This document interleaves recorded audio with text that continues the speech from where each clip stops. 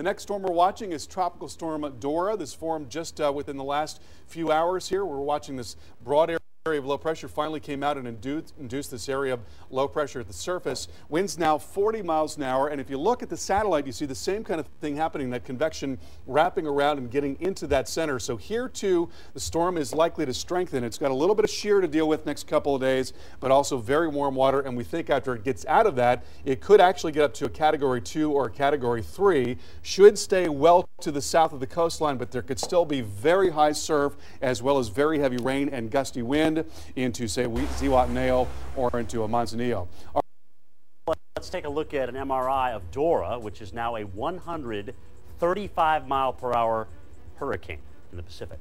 And this is it going back in time. This is kind of the end of the loop. So here's the beginning of it. You can see around the center, not a lot of organization with that eye wall, but look at how this red, yellow, and orange just kind of wraps around during the day today and this thing is about as symmetric as they come. Let's take a look at it and talk about uh, really what has become a very active tropical basin. Uh, we've had four hurricanes now in the Pacific and three tropical storms newly formed today, Tropical Storm Cindy. The good news is none of these are going to impact land in the near future, if at all.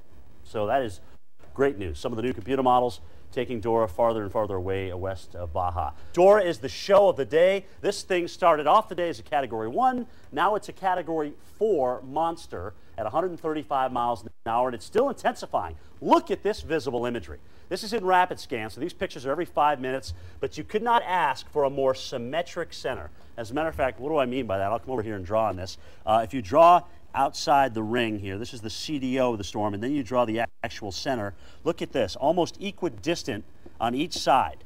Classic case. There's no reason to believe the storm's not breathing as well either. So this could become uh, even stronger, believe it or not, from what we see here on the visible satellite imagery. The good news is it is not forecast to impact land right now. Just a few high clouds on your favorite Mexican West Coast beaches. Tropical Storm Dora still holding on strong to tropical storm strength, just barely though. Maximum winds at 40 miles per hour, moving to continuing its track to the northwest at about 9 miles per hour. You can see just a little cluster, a little flare up there of some of the thunderstorms. What's happening is it's running through uh, colder water. It's kind of cutting off its fuel supply, so we're not expecting much more out of Dora over the next few hours. In fact, by later tonight towards tomorrow, likely a remnant low, so this may very well be the very last you'll hear about Dora. And we what's going on in the Pacific Northwest, which is some very cool weather. Dip in the jet stream here and look at these temperatures. Wouldn't this be beautiful if we could just take a piece of this, break it off, and move it to the east? Looks like it's not going to happen, at least not in the immediate future. We'll cool down in the east, though, by the weekend a little bit. 74 in Missoula Friday, 83.